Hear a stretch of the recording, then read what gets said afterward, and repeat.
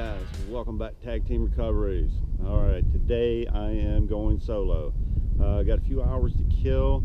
We'll go out here, we're gonna hunt this field here, see if we can get into some stuff. Uh, hoping for some early colonial stuff, getting ready to check out the site here. But uh, hope everybody's well out there and uh, we'll get out here and see what we can end up doing. Alrighty guys, appreciate y'all watching and checking us out. Let's go get that metal detector and go hit that first hole. We'll see y'all shortly. All right, first good target this morning. Uh, not that deep, no more about three inches or so. Uh, looks like part of our early colonial shoe buckle.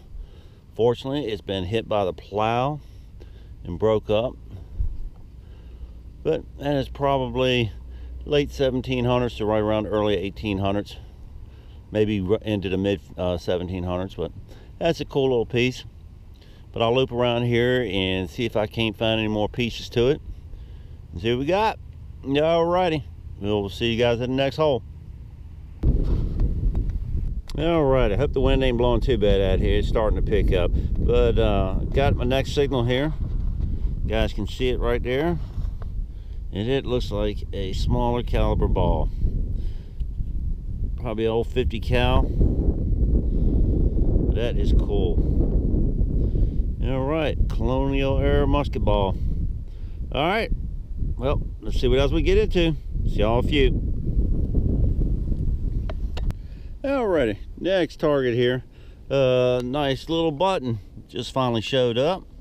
Looks like a nice little uh, pewter or tombac style button. A little flat one. But that's pretty cool. A little two holder actually. That is cool probably early 1800s, late 1700s. Mixed in right here with all these broken shoe buckles and stuff. But that's cool.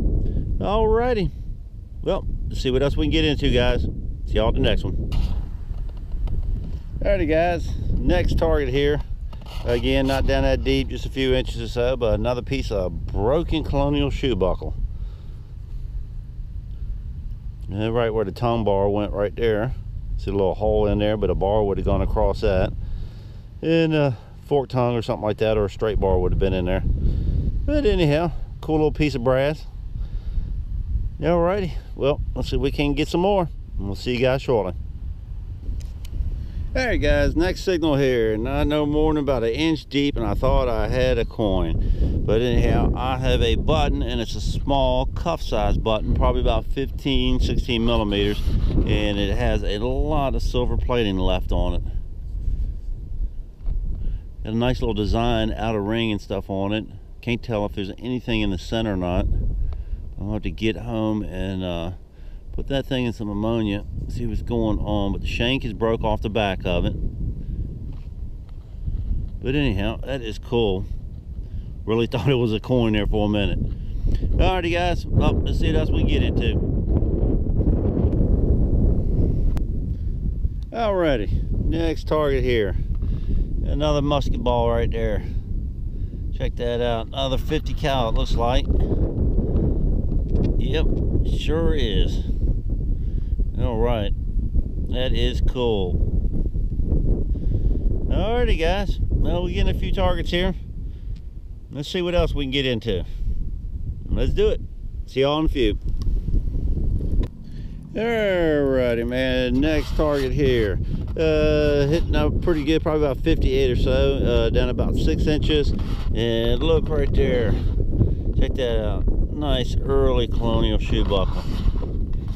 That is so cool. It's actually uh, should be another piece of this off on the side here identical to this and it should be coming off over here but it's uh it's broke just across the tongue bar right there. But that is a cool find right there. That's definitely uh mid 1700s if not earlier right there. That is a cool find. Like that. All righty. All right. Well we'll put this up and let's see what else we can find. Y'all ready?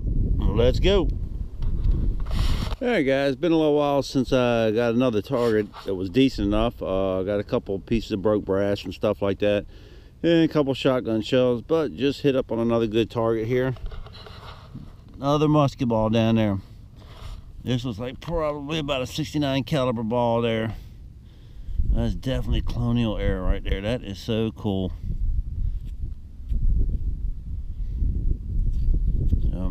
We're going to loop around through this area here in a little bit and see if there's any more of these things here. But that is a monster right there. I would hate to get hit by that. Alrighty guys.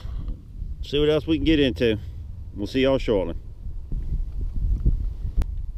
Alright guys, wrapping it up here for today. Only had a couple hours to kill. Um, but ended up digging a pile of trash as you can see there. Found a nice golf ball. Some other miscellaneous junk, but did get some early colonial stuff. Uh, ended up with a couple of uh, 50 caliber uh, musket balls. Got a 69 or 70 caliber ball. And then a 31 caliber ball. A fired ball. Uh, a couple pieces of broken colonial shoe buckle there uh, let's see here two flat buttons this one's got some silver plating on it I'll have to clean that one up and see what we got on that one but shanks broke off the back of it that might have some nice detail or something on the face of it being silver plated uh, got a two-hole pewter button it's pretty cool find uh, piece of a broken colonial bell and probably my best find for the day is the uh, late 1600s, early 1700s uh, shoe buckle. But the end of it's broke off there. But not bad for a couple hours. Got some goodies there. We'll get at it again here soon and uh, see what we get into. Alrighty guys. I appreciate everybody stopping in and coming along and uh, hanging out with me there for a little bit. Uh, nice little solo trip. But uh, we're going to get back at it soon here and then try to get on some more good stuff.